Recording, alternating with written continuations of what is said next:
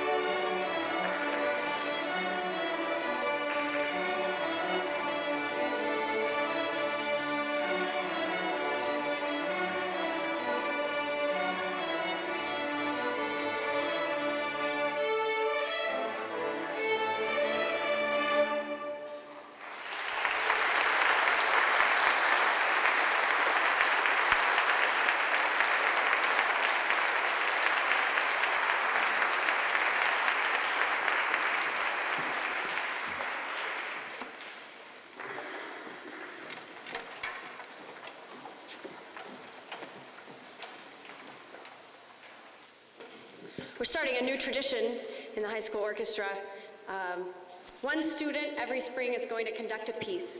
and they all had to remind me because I forgot four times and I started conducting in rehearsals. So we, I would like to not play or conduct and welcome to the podium Miss Allison Vanderslice.